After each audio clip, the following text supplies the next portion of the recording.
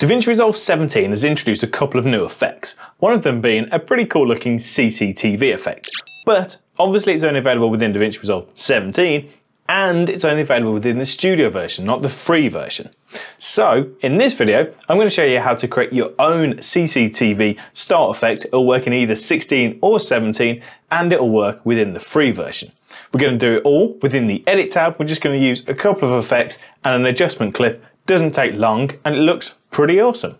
So, my name's Alex, this is Mr. Alex Tech. Let's open DaVinci Resolve and take a look. So here we are within DaVinci Resolve and we're currently on the Edit tab. So this is the footage I'm going to use for this CCTV effect. So the first thing we need to do is to grab an adjustment clip because we're going to do most of the work on the adjustment clip because we can save that for later use. So we're going to click on the effects library up here on the left. We're going to expand the toolbox we're going to go to effects and we're going to grab an adjustment clip and put it on top of our footage like so. And then anything we do to the adjustment clip will affect our own clip underneath. So the first thing we want to do is to make this footage black and white. So we're going to give the adjustment clip a click and then we're going to jump into the color tab. Now there are loads of different ways to make your footage black and white. We're just going to do it the super quick and easy way. Come down to the bottom left here. Make sure you're on this icon here for your color wheels. Make sure you're on number one at the bottom left You've got saturation here, just take that to zero and that will automatically make your footage black and white. So to the left of that you've got contrast, which is going to bring that up to add some additional contrast which will really sell the CCTV effect, but how much you use is entirely up to you.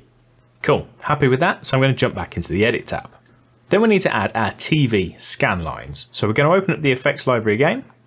Same place, toolbox. This time we're going to open effects you need to scroll down until you see the Resolve FX Stylize area and you want to grab the scan lines and drag them onto your adjustment clip.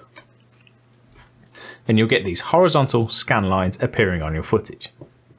With the adjustment clip selected, open up the inspector in the top right hand corner, go to the Open Effects tab, and then here you've got a bunch of different settings.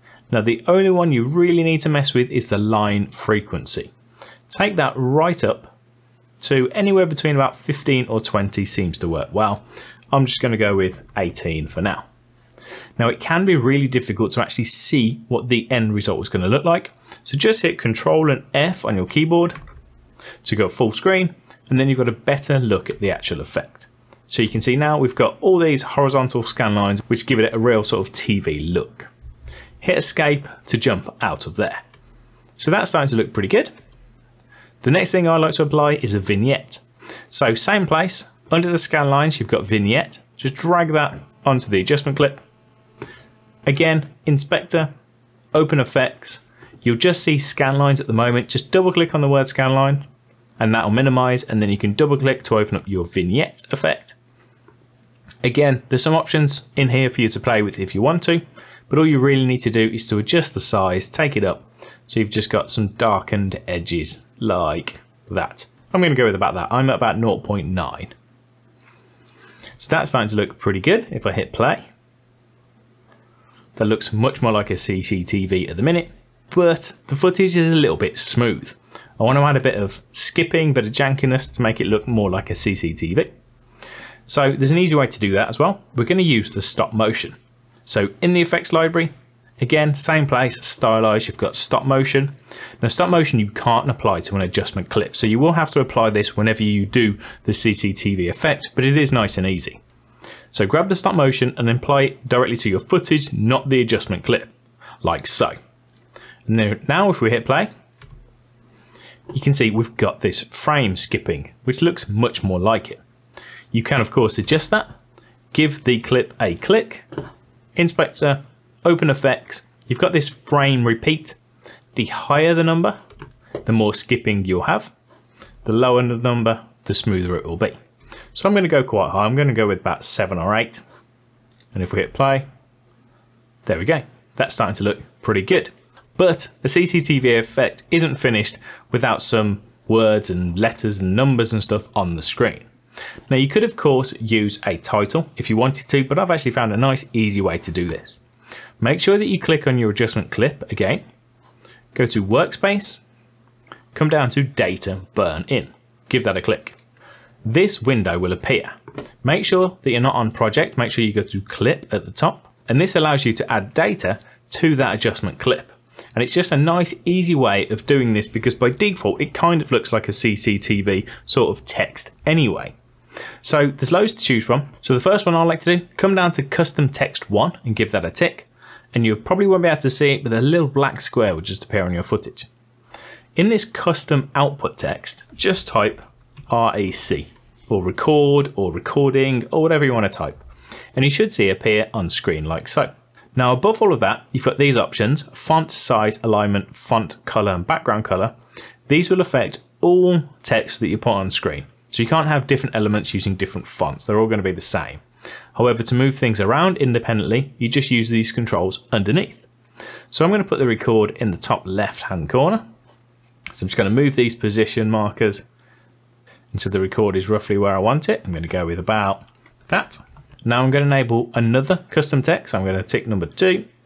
This one I'm just going to put date and we'll put today's date 13 11 2020 and we'll do the same thing we'll move that roughly where I want it I'm going to go for the top right hand corner this time something like that will do and then the last one a really quick one to really sell the overall effect click on record timecode the one at the very top left that should appear somewhere in the middle.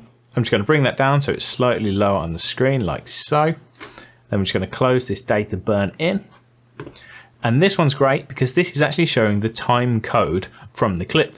So as we play, that will automatically be counting up, which again really helps to sell this CCTV effect. And there you go. That to me looks pretty cool.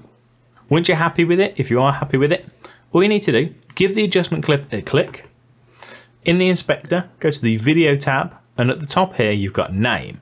If you're using DaVinci Resolve 17, you'll need to also go to the file tab. In name, I'm just going to call this CCTV, and then I can drop it into a power bin. So if you don't have power bins enabled, all you need to do, click on view at the top, come right down and make sure that you tick show power bins. And then if you open up your media pool, Somewhere on the left hand side you should now see power bins. Click on the master folder. You can create any folders in here if you want to, but all I'm going to do is drag this CCTV into my power bin and now it's there and now it's there if I open any projects in the future. So let's say this is a brand new project. I can just grab this CCTV adjustment clip, put it on top of my footage. Most of the effects are there ready to go. I then just need to add my data burn in again and it's good to go. It's a nice quick, easy way of adding a cool looking CCTV effect in not much time at all. And that's it. I hope you enjoyed this video. If you did, give me a big thumbs up. If you've got any comments or feedback, make sure to put them down in the comment section below. And if you're new here, you enjoyed this video, you want to see some other general tech and other stuff, maybe consider hitting that subscribe button. Thanks ever so much for watching, folks. You take it easy. I'll catch you next time. See ya.